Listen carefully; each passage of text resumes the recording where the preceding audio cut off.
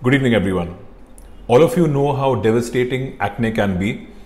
Uh, जो stress होता है when you had a breakout और एक्ने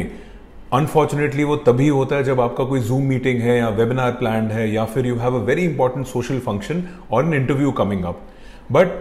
acne के साथ अपना torture does not stop here you also have something known as acne scars and dark spots जो acne जाने के बाद भी आते हैं मैं हूँ doctor Asim Sharma chief dermatologist from the skin Sagar centre Mumbai and आज हम बात करेंगे एक्ने एंड एक्ने स्कार्स के। So what are acne scars these are pits और डिप्रेशन जिन्हें हम गड्ढे भी कहते हैं, जो तब आते हैं जब एक्ने को प्रॉपरली ट्रीट नहीं किया हो। Now you'll be confuse when I say you know acne has not been treated properly इसके दो रीजन है। पहली चीज़ तो यह है कि आपने ट्रीटमेंट डिले किया एंड आपका एक्ने बहुत सिवियर था। जब वहाँ से आपका एक्ने बड़ा स्किन डैमेज हुआ and it healed itself with scar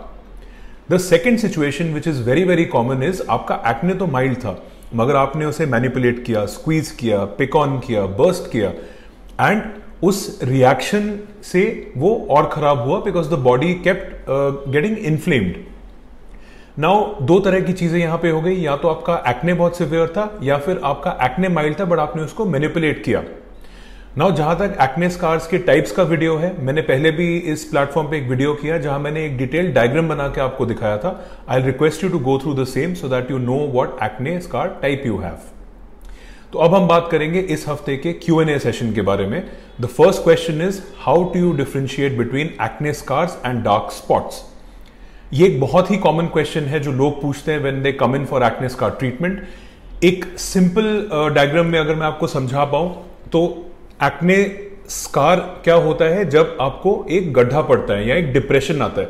acne spot क्या होता है? सिर्फ़ एक सिंपल कलर चेंज हो आपके स्किन पे। सो so, अगर आपके स्किन का कलर चेंज हुआ है बट टेक्सचर सेम है उसको हम स्पॉट या मार्क कहते हैं।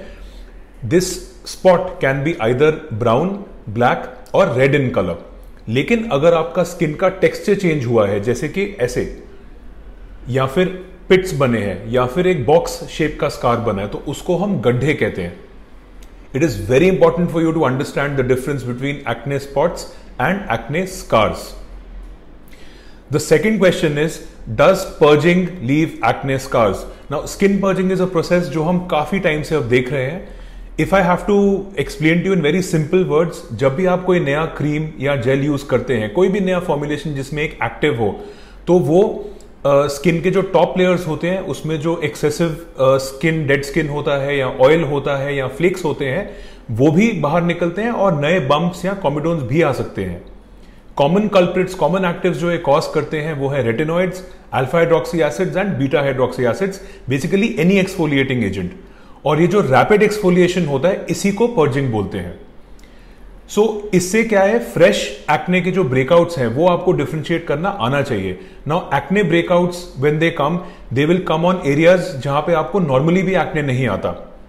ब्रेकआउट जाने में एट टू टेन डेज़ लगेंगे जबकि purging self heals in four to five days with the same product सबसे important cheese purging does not leave any scars मैं पेशेंट्स को यही काउंसिल करता हूँ that it's like your skin getting use to a new product which is perfectly normal और कुछ घबराने की बात नहीं है। And obviously obviously you do not have to stop your active please continue whatever active you are taking and your skin will get used to it in due course of time once the purging period is over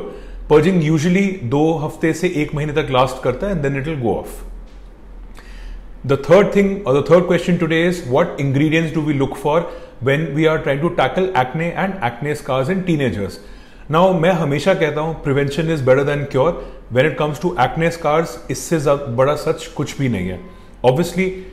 अगर हम acne को जल्दी diagnose करेंगे, जल्दी treat करेंगे, जल्दी हम oil buildup prevent करेंगे by using face washes and antibacterial products definitely you will get less acne and therefore less scarring अगर आपका एक्ने माइल्ड भी है try not to squeeze them burst them और you know just pop them there are sophisticated methods of extraction जो कि हम कर सकते हैं फॉर देम एक ऐसा रेजिमेंट आपको बनाना है जहाँ पे you have oil control you have collagen boosters you have creams with anti inflammatory and anti bacterial effects जो आपके स्कार्स को डीप नहीं बनाएँगे एक्ने कंट्रोल करने से. लेकिन अगर आपके स्कार्स एडवांस्ड हो चुके हैं, या बहुत डीप हैं, या बहुत स्प्रेड आउट हैं so you will have to see a dermatologist for further treatment and in all this never forget your best friend which is your sunscreen thank you for watching this session please send your feedback in the comment section until next time I wish you all a scar free week goodbye thank you